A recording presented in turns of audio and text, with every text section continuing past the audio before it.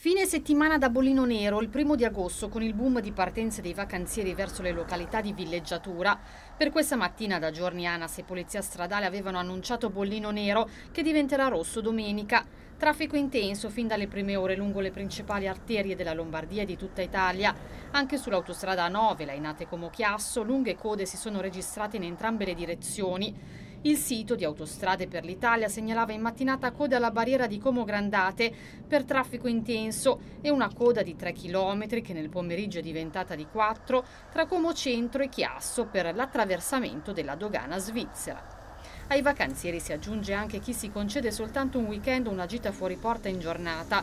Traffico dunque anche in città, in particolare sul lungolario Trento, Viale Fratelli Rosselli, via Borgovico in direzione Cernobbio e sulla statale Regina verso le principali località affacciate sul lago.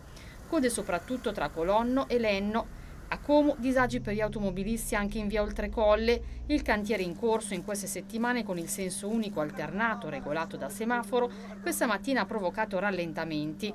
Traffico intenso come detto è previsto anche nel pomeriggio di domenica su strade e autostrade con i rientri dalle vacanze e dal weekend fuori porta. Un'altra giornata difficile per chi ha deciso di spostarsi in auto per raggiungere i luoghi di villeggiatura sarà sabato 10 agosto con un nuovo bollino nero.